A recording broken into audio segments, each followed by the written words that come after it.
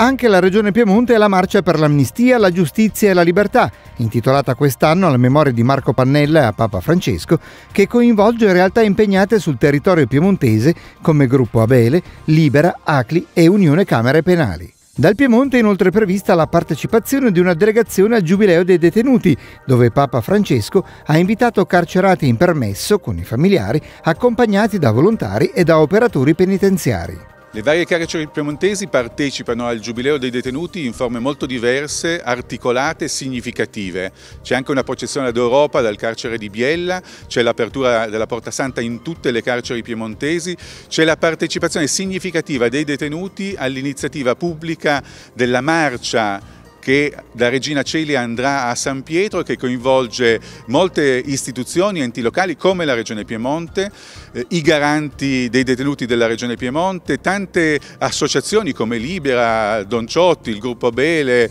eh, l'Unione Camere Penali. Eh, si tratta di un momento significativo per riportare all'attenzione anche dell'agenda politica la questione del carcere. Lo vediamo in questi giorni, un carcere che è difficile, che è complicato, ma che ha bisogno bisogno di speranza, speranza di riforma, speranza di un cambiamento, come peraltro ci chiedeva la Corte europea dei diritti dell'uomo.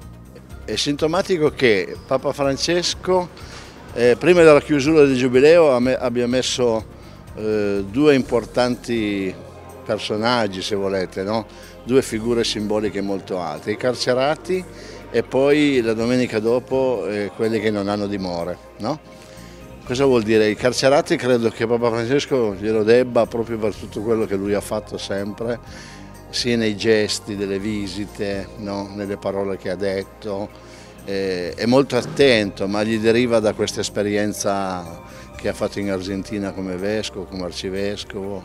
Lui racconta che scriveva, andava a trovarli e diceva, e gli veniva fuori questa riflessione perché loro e non io, no? Quindi credo che questa cosa qui del, del giubileo sia un esito naturale per lui, no?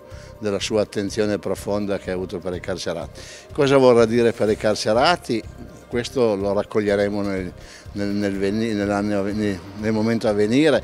Certamente credo che voglia dire in sintesi anche un messaggio alla politica, ecco, no?